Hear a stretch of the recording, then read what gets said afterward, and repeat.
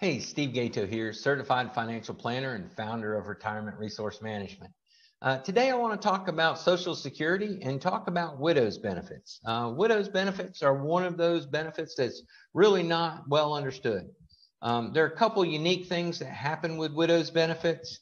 Uh, the first one is is that um, if your spouse died before they started claiming, um, that benefit is going to be based on what their anticipated, what's called primary insurance amount would have been.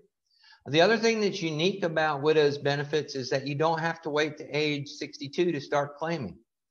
Uh, another unique thing is that you get to choose um, when to start your widow's benefits and when to start your personal benefits. So by using those two variables efficiently, uh, you can really uh, take advantage of the rules to get more out of Social Security.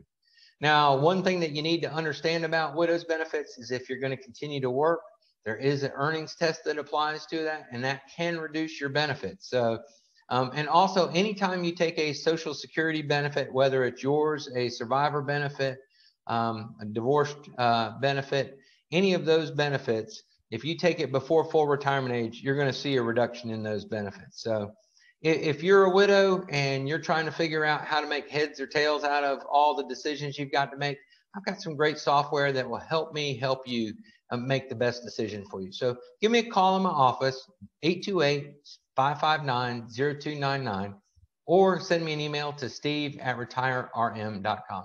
Thank you. Have a great day.